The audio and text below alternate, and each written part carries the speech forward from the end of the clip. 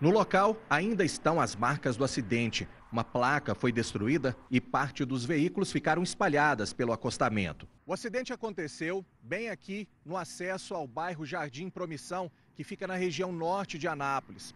O bairro faz divisa aqui com a BR 414. E os veículos que vêm lá do centro de Anápolis precisam acessar essa espécie de trevo improvisado antes de entrarem no bairro. E foi isso que aconteceu. O veículo de passeio entrou aqui nessa parte de terra e depois tentou atravessar para o Jardim Promissão. Mas repare que lá na frente existe uma curva que acaba dificultando a visibilidade aqui do motorista. Agora mesmo é o que acontece: ó, o motorista não tem uma boa visibilidade e acaba se arriscando. No momento em que esse veículo de passeio tomou aqui à esquerda para poder entrar no Jardim Promissão, ele acabou batendo de frente com uma caminhonete e foi lançado para atingir uma moto que estava logo atrás. Nesse acidente, 10 pessoas ficaram feridas, cinco delas em estado grave. Quatro pessoas estavam na caminhonete, quatro no carro e duas na moto. Todas as dez ficaram feridas e foram encaminhadas para hospitais da cidade. Existe a suspeita de que os dois motoristas estavam embriagados. Eles se negaram a fazer o teste do bafômetro e tiveram as CNHs apreendidas. Enquanto nossa equipe estava no local, vários carros acessaram o bairro. A travessia é um risco. Muitas vezes, o motorista precisa contar mesmo é com a sorte.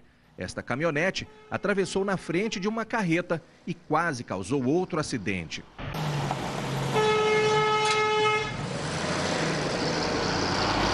Nós não temos um trevo aqui acessível aqui para a gente fazer uma, uma, uma entrada aqui no bairro, né? Então, uma conversão bem segura, né? Então fica bem perigoso mesmo.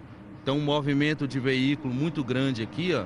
Então fica bem complicado para a gente passar. Na hora que a gente vai fazer a, a conversão para entrar no bairro, fica muito difícil de acessar porque a gente não tem muita visibilidade.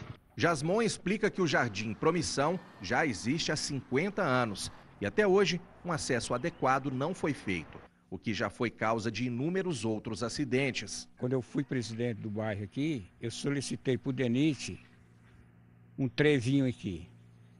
Aí eles me alegaram que por causa dessa, dessa árvore aqui, que não tinha como fazer esse trevo, e essa barriguda aqui. Mas inclusive aqui já houve muitos acidentes entrar e sair desse bairro. Outros bairros também passam pelo mesmo problema, como o Santos Dumont e o Chácaras Colorado. Este síndico de um dos condomínios do setor reclama da dificuldade de acesso, que só tende a piorar por causa do crescimento do número de moradores. Eu creio que isso aqui, a única solução é uma duplicação completamente do, do dessa via, pelo menos até na, nas na proximidade de Anápolis.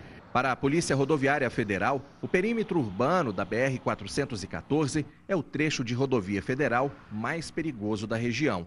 Informação que já foi transmitida ao DENIT. Conversa com o DENIT aqui, responsável pela, pela, pela BR, é, eles têm um projeto de melhoria no, com a construção de trevos né, e também de terceiras faixas nas subidas da BR-414.